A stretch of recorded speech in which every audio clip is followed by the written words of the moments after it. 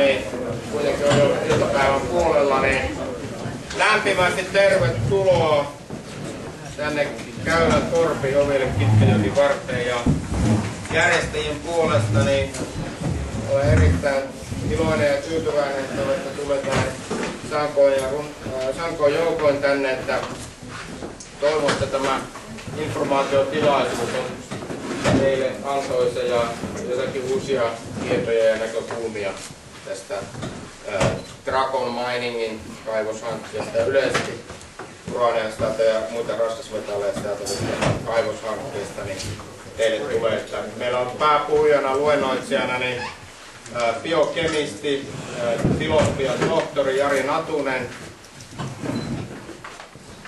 Ja hän on tota, tämän alan kova ammattilainen omalta työuralta ja taustaltaan perehtynyt näihin kemikaaleihin ja raskasmetalleihin työkseen. Ja, ja tota, ja sitten on ollut viime vuosina niin näissä eri kaivoshankkeista asiantuntijana eri rooleissa ja sitten myös ollut eri, ähm, tota, esimerkiksi media on häntä haastatellut ja sitten ollut TV-ohjelmissa ajankohtaisohjelmissa haastateltuna. Hän on perehtynyt erityisesti muun muassa Raahen laivakankaaseen, Talvivaaraan, Kittilään ja Einon Paukkajavaaraan, mikä on vanha tämmöinen vastaavakopainen uraanilouskun ja uraanin sieltävä kaivoskin täällä. Ja Tota, mä lyhyesti tässä ennen kuin aloitan päästän Jari, Jari Natusen ääneen, niin tota, kerron, että tässä taustalla näkyy ää, Tukesin karttapalvelun virallisen Tukesin, joka ää, luvittaa ka eri kaivosyhtiöille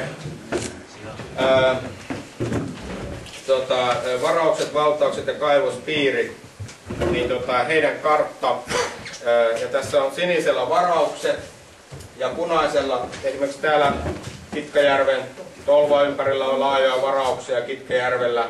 Sitten täällä Oulangan Kyytäkenkään pohjoispuolella Oulangan puiston kylässä on varauksia täällä Rukaan ja kohti Vuotunkia varauksia.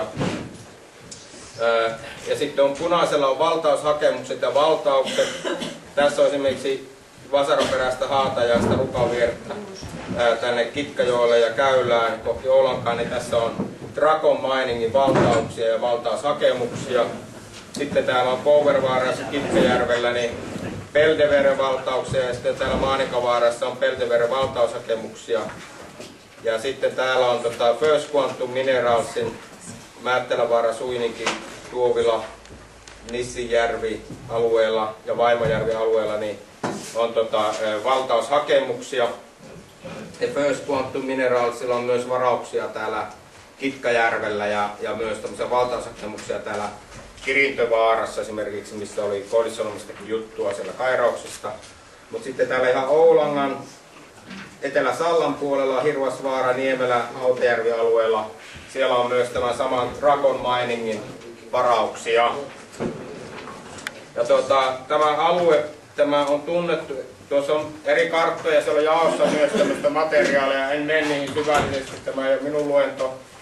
Öö, tota, olen siis Mika Flöit ja pitkän viisaiden puolesta täällä öö, järjestämässä tätä, niin, tota, niin, niin, niin, tämä alue on tunnettu kulta, uraani, vyöhyke juuri täältä Kouvervaara, Kitteer, Vasaraperäistä Rukanvierestä kohti Oulangan puistoa ja Hautajärvi Oulankaa. Ja siellä on kulta ja uraani ristikkäin. Ja, eh, ja jos toiseen kosketaan, niin toinenkin sitten liikkuu ymmärrettävästi maan pinnalle esimerkiksi. Ja, tota, ja, mutta, ja Natun menee niihin yksityiskohtaisiin. Tässä on eh, esimerkiksi GTK, uraanianomaliat tältä alueelta. Täällä on juomasuo, ja tässä on GTK, Olli Äikäs, virallinen uraanitutkija. Tämä kartta on englanninkielinen valitettavasti, mutta siinä lukee uraani esiintyvät Suomessa ja Rastilla, Rastilla äh, uraani esiintymä ja mahdollisuus ja sitten keltainen pallukka on tota, uraani esiintymä GTK databaseissa, mitä nämä kaivosyhtiöt käyttää. Niin täällä on merkittynä esimerkiksi Juomasuo, Konttiaho, Kouvervaara alue potentiaalina. Sitten täällä on näitä äh, tunnettuja Pohjois-Karjalan ja Uudenmaan uraanimalmeita muun muassa. Ja Kittilän Levin pahtosuoma, jossa Drakonilla on myös, tämä Ahkenusvaara on myös Drakonin, Drakonin äh, valtauksessa. Ja tässä on sitä Agrikolan, tämä vanha varaus. Tämä on uraani esiintymä Olangan kanjonissa on nyt Drakonin varaama tuossa Salla Olan kansallispuiston kylässä. Hautjärven eteläpuolella tämä esiintymä. Tämä alue on myös Drakonin varaama, tämä mikä on Agrikola uraanivaraus. Ja, ja tässä on sitten Peldeveren esitys, tämä PowerPoint-esitys oli 2005 Fennoskandian kaivoskonferenssissa Rovaniemellä. Ja sitten tämä on ollut heidän nettisivuilla aikoinaan, kun he on markkinoinut kansainvälisille sijoittajille Toronto ja Lontoon pörssissä, että investoikaa näihin heidän valtaus- ja tutkimushankkeisiin Kuusamossa. Niin he esittelevät, että siellä on rautaa, kultaa, kuparia, kobottia ja uraanimineralisaatiota ja pääesiintymät on juomasuo, ha- haarakumpu, Kouvervaara, ja tässä näkyy niin kuin heidän tämä analyysi tästä malmijänteestä. Ja, ja tosiaan viisi kappaletta on Dragonilla kaivospiirejä, kaksi on täällä Juomasuo, Angaslampi, Pohjoisvaara-alueella ja sen ympärillä valtaukset, jotka yrittävät tänne Käylän kylään, Säkkilän kylään. Ja sitten, tota, e, ja, ja, ja sitten sen ympärillä vielä valtaushakemukset ja varaukset. Ja sitten on Juom, Rukan Sivakkaharjussa, Rukamarketista pari kilometriä länti, lä, länteen tai länsipohjoiseen. Ja, e, ja siinä ympärillä on myös valtaukset. Siinä, siinä kaivospiirissä on 0,12 prosenttia GDK on datan mukaan uraanin keskipitoisuus täyttää ydinenergialain pitoisuuden. Ja, ja samalla tavalla täällä on 0,2-0,75 pitoisuuksia uraania, todella korkeita pitoisuuksia uraania. Ja sitten viimeinen viides kaivospiiri on Kitko, Kitkajärven rannassa Kouvervaaran Lemmonlammella, ihan Kitkajärven rannassa. Ja sitten kaivosyhtiö on esimerkiksi Yle haastattelussa viime syksynä täällä just juomasuolla, kun heitä haastateltiin, he sanoivat siinä haastattelussa, että miksi heillä on näitä valtaushakemuksia ja varauksia laajasti näiden viiden kaivospiirin ympärillä, että jos ö, tämä Rukaan Sivakkaharjun merkityksen on kaivospiirit ja Käylä Juomassa kaivospiirit avataan, niin he pyrkivät näillä tutkimuksilla löytämään koko ajan lisää potent- niin malmivarat, jotka avataan siihen jatkokaivostoimintaan. Eli nämä niin kuin Pampalossa, Kittilässä, Raahen laivakankaalla, Talvaarassa, kaivosyhtiöt viipaloi hankkeen pieneksi, ettei saada jostakin auki ja sitten aletaan, kun on saatu luvat, niin aletaan laajentamaan ja uusia lupia hakemaan. Tämä pitää koko ajan ottaa huomioon.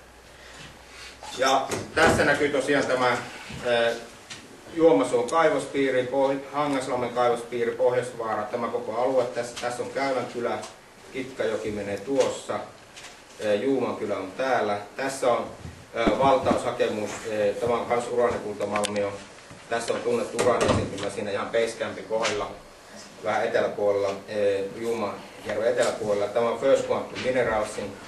Ja tässä on valtaushakemus Säkkilän kylän eteläpuolelle, tässä on Kantojärvi.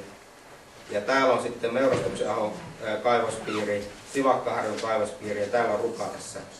Koko tämä väli on käytännössä kaivosyhtiön. Ja yleensä kaivostoiminta toteutuu kaivospiiri plus valtaukset olevalla alueella. Sitten vaan laajennetaan niitä valtauksia. Ja tässä näkyy vielä tarkemmin. Tosiaan tuossa lukee kurtti, tuossa on käylä, Täällä on sitten Kallunkijärvi tuossa, Kitkäjoki on niin käytännössä Dragonin valtauksien sisällä. Tuossa Säkkilä, Säkkilän kylä Ajakkajärvi. Ja tässä on tota, e, tuossa on Takkusalme, että niin kuin osaatte paikallista nämä. Tässä on vielä lähemmin tämä, näkyy Pohjoisvaara. Ja tuossa näkyy esimerkiksi Louhoslampi tuossa. Ja tässä on Hangaslampi. Ja tässähän menee hangaspuro, joka laskee suoraan Kitkajokeen esimerkiksi tästä ihan kaivospiirin vierestä, tästä vierestä. Ja tämä on ehkä hyvä näyttää. Tämä on Erkki Vanhasen 2001 kai, öö, väitöskirjasta Kairausreikä 333 juomasuota analysoitu. Ja täällä näkyy todella korkeita, niin uraani on, tässä on metrit, ja täällä on syvyys, tässä on 20 metriä, täällä on 200 metriä. Ja Malmiosta heti pinnasta lähtien koko matkata uraania ja toriumia, mikä myös on radioaktiivinen myrkyllinen aine. Ja sitten erityisen korkeat pito täällä näkyy nämä muut metallit, mitä kaivosyhtiö on myös kiinnostunut. Niin, niin ne, nämä uraanipitoisuudet toriumpitoisuudet on erityisen korkeita siellä samalla siellä Malmiossa, missä se kulta ja muut metallit, kupari, koboltti on. Ja ne on ristikkäin, kuten aikaisemmin on GTK-laiset ja muut tutkijat. Ja ne on sidoksia toinen toisiinsa. Ja tässä näkyy esimerkiksi tehtyjä mittausanalyysiä Oulun yliopiston Oulangan tutkimusaseman toimesta juomasuolla.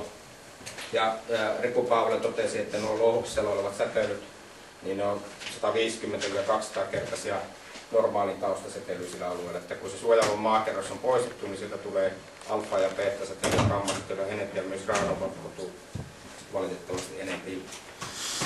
Mutta, mutta Jari Natunen kertoo näistä sitten muista tarkemmin. Tämä oli, ehkä tämä olisi vielä hyvä näyttää. Krister Söderholm, entinen kauppa- ja teollisuusministeriön ylitarkastaja, 2006 toukokuussa atomiteknisen seuran seminaarissa esitteli tämmöisen kalvosarjan edellytykset uraanikaivostoiminnalle Suomessa.